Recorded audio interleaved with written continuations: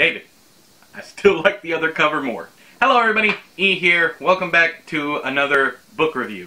Today we are talking about a book that comes out today, April 9th, 2019, and that is The Last by Hanna Jameson. That's a pretty cover. Um, we'll actually get into that in the spoiler talk. Uh, right off the bat, my original, my original uh, rating for this was going to be around 3.5, and then I rethought that because of spoilers. So if you want to hang around after the outro, that's where I do my spoiler discussion. Um, I'm going to try and stick to, you know, at, I'm, I'm going to try not to give away anything about this book that is not in the blurb. This was sent to me from Atria Publishing. Um, I was originally sent a bound manuscript, and then I was sent the final hardcover. So David, thank you for that. I appreciate it. Um, David Brown Atria Publishing is who I'm talking to. Um, but this this novel starts off.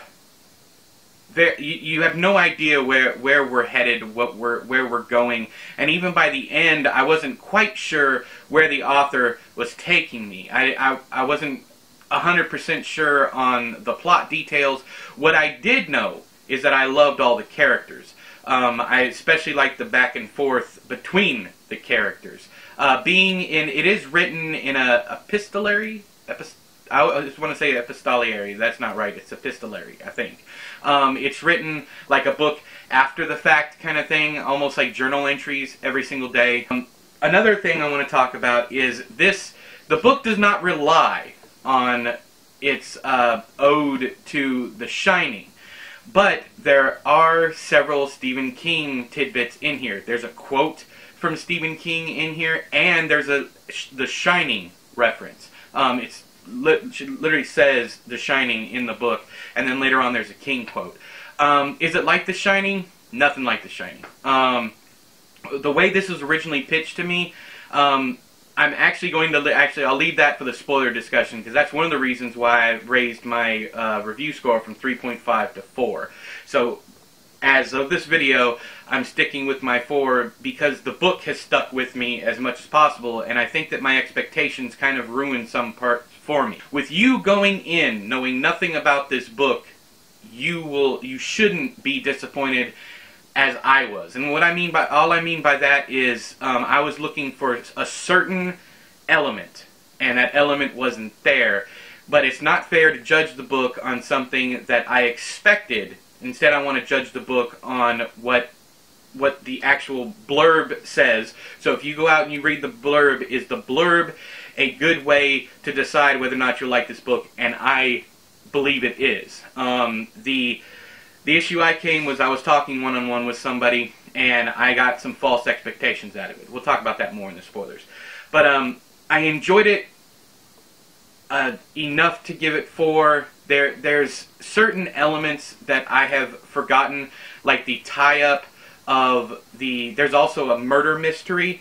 Um, I'm not exactly sure how that panned out. If it did pan out, I'm not sure, but that is definitely not the point of the book. The point is these people surviving after whatever happens. Um, I know there were some. If you, if you're a fan of The Walking Dead, uh, I especially think that you'll like this book. Um, it has a very very strong Walking Dead vibe. They go. I mean, it's just about any post-apocalyptic thing, but there is there are scenes of them going into town and coming across other people after the quote unquote apocalypse happens. Um, but there's a bit of uh, I don't know if you guys know there's urban legend, um, but there's actually video to support the urban legend of the the lady who's found in the. Uh, actually, I think I think that's a spoiler too, so I, am not going to talk about that. Uh, let me read the blurb one more time. In fact, let me read the blurb to you. Uh, historian John Keller is on a work trip in Switzerland when the world ends. Now he desperately wishes he hadn't ignored the last message from his wife, Nadia. I miss you so much. I feel bad about how we left it. Love you. The one he was considering how to answer when he received a string of horrifying push notifications. Breaking. Nuclear attack on Washington in progress. Story developing. Breaking. 200,000 fatalities estimated, say experts. Breaking. Confirmed. President and staff among dead in nuclear explosion. Awaiting more information. Two months later, 20 survivors remain in Le Hotel Sesame. I, I hope that's that's right. Um, an infamous establishment with a dark and mysterious legacy. Uh, far from the nearest city, this motley crew fights to keep hope alive and maintain some semblance of civilization. But when Keller goes up to the roof to investigate the hotel's worsening water quality, he is shocked to find the body of a girl floating in one of the tanks and is faced with the terrifying possibility that there might be a killer among the group. As supplies dwindle and tensions rise, John becomes obsessed with investigating the death of the little girl as a way to cling to his own humanity. Yet the real question remains, can he afford to lose his mind in this hotel, or should he take his chances in the outside world? So yeah, uh, it does talk about the, uh, the, uh, the the girl in the water tower. So up on top of the roof, you know, they have the water towers. Uh, I don't know if you guys have ever seen the urban legend or um, the video with the girl in the elevator. She keeps getting off and on. The doors are open. Weird stuff happens. And then later on, they end up finding her body in uh, the water tower, water tank, I guess it is. Um, but anyways, you guys, that's that's the kind of vibe this gave me, um, which is a good vibe. Uh, anyways, so I I suggest everybody at least give the book a try. I, I would think that if you go over to the look inside on Amazon, if you read the opening sections and you dig the writing, the writing stays consistent throughout. Um, but the real reason to show up here is for the characters because the characters have stuck with me. Um, not so much the plot, but the characters have stuck with me. So a solid four out of five stars, Goodreads uh, review style. I liked it a lot. Um, but if you have already read it, please let me know. I know a lot of ARCs, uh, advanced review copies, uh, went out. If you guys have read it, let me know down there in the comments below. If you guys are coming to this video after you've read it after release, let me know. I'd love to discuss the book with you. But until next time, I have been E, you've been you. This has been another book review. I'll talk to you guys later. Bye-bye! Alright, so here's the spoiler section, if you're new around here. Um, I'm going to talk about some things. Uh, I don't suggest you watch this at all unless you have already read the book. Um, I, I got a, the only reason I do these things after the outro is because I've gotten a lot of comments wanting me to break down in detail what I like and don't like about things. Um, so this is a spoiler section. Once again, um, you can click away now and be safe. Okay, if you're still here, first and foremost, I, I, I can't I can't I can't help it. Um, it, it literally it's upset me. um, this is the original cover of this book. Now this is the bound manuscript that uh, the publisher sent that uh, David sent me. Um, this is the final copy. That's a drastic difference. I mean, I much prefer this one.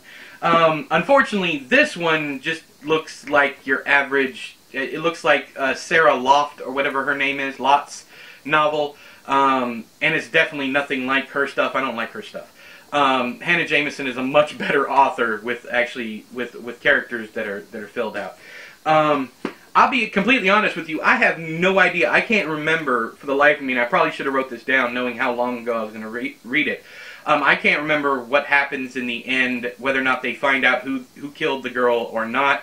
I don't think they do. They might. I don't know.